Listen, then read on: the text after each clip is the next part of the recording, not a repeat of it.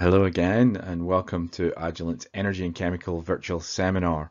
Our next presenter is Paul Barboni. Paul is our GC Analyzer Product Manager. Uh, he's based in Wilmington in Delaware in our GC R&D facility. Paul's going to be presenting our range of pre-configured analyzers uh, designed to meet testing needs uh, for quality and safety in the oil and gas processing uh, industry. During Paul's presentation, uh, if you need any more information or if you have any questions you'd like to ask us, the toolbar at the bottom of the auditorium uh, is a great place to ask us those questions or if you have any technical problems uh, and we can fix those for you straight away. So without further ado, I'll hand over to Paul. Hello and welcome to our comprehensive suite of pre-configured gas analyzers from Agilent the innovator in GC. While Agilent has a diversified and well-established background in gas chromatography, we can't really appreciate the value of the analyzer part of the offering without understanding how it fits into the larger GC category. Founded in 1939 by Bill Hewlett and Dave Packard in this modest garage in California, the company would become Agilent now has over 50 years of experience in gas chromatography, one of our core businesses. We have established ourselves as the global leader in GC in terms of innovation, quality, and post-sale support. This is the biggest strength of an Agilent GC analyzer. It's the Agilent GC. We have a deep knowledge pool of factory and field personnel who build upon the already strong Agilent GC, which is where the value of a gas analyzer is recognized. It's that applied knowledge combined with a strong foundation and reputation of the base Agilent GC. Here we see a brief timeline of the Agilent history that I referred to. Agilent was born from Hewlett Packard in 1998, and you may be familiar with the high-end LabGC product line history of 5890, 6890, 7890, and now the 8890 GC gas chromatographs. The history of high-end lab GCs are just a part of the overall Agilent GC portfolio. You can find more details on a poster of this GC timeline at our agilent.com website, and I would encourage you to do so. There are a lot more details of GC innovation there. The point is that we build Agilent GC analyzers on the best possible foundation on the world. That, that's the Agilent GC. From there, we add some special hardware and sometimes software or reports so that someone can receive delivery from our factory and start seeing meaningful results without having to perform additional hardware or reporting modifications.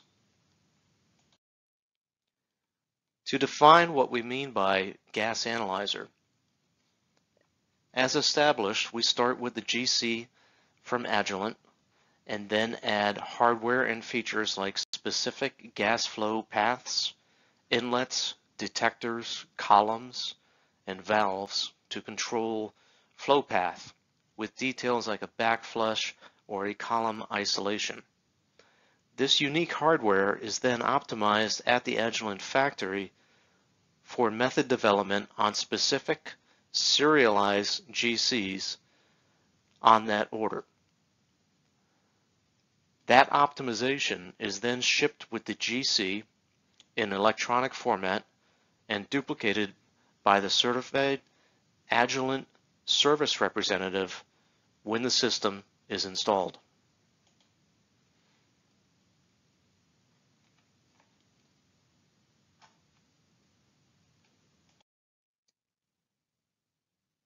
Many, but not all, of the GC analyzer models fit energy and chemical applications. Often these GCs perform the same short method over and over, and it's very purpose built.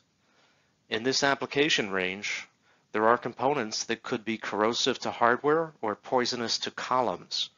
So complex plumbing is often incorporated to provide backflush or column isolation.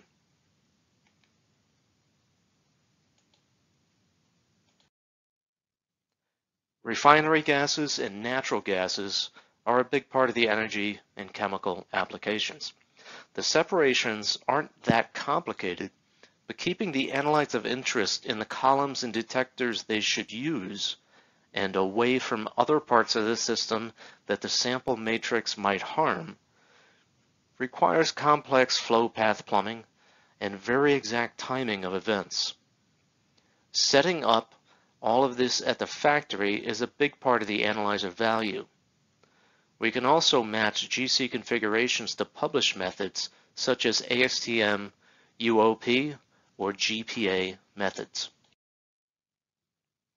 In addition to the refinery and natural gas analyzers, Agilent has offerings for the pre-configured analyzers for biofuels per multiple ASTM and EN standards including headspace applications. There are also GC analyzers that use hardware ancillary to the GC like mass spec or headspace. Using the 8890 GC, there are options for mass spec analyzers for several pesticide analyses, and headspace sampling is available on the 8890 GC and the Intuvo 9000 GC notably transformer oil gas analyses for the electrical generation and delivery industry, as well as blood alcohol testing and residual solvent pharmaceutical testing. Agilent GC analyzers are tested at the factory with the OpenLab suite of data systems and also the mass spec software MassHunter. These methods which are saved to a DVD that ships with the system, are then confirmed by the installing engineer with the same checkout standards used at the factory. As an overview of our portfolio, here we see some details about the standard models offered. Many are FID and TCD combinations, often in the parts per million range. There are some options for sulfur matrices, some for nitrogen carrier gas, and many are focused on analytes C6 or lower. This also calls out the opportunity for customization. We have standard model designs, but can accommodate a significant amount of customization. So please work with your Agilent application engineer to go over the options for customization. A great resource in addition to your Agilent application engineer is the Agilent.com website. There are more details on GC analyzers under the Solutions subheading, and there's also a lookup tool for published methods. Thank you very much.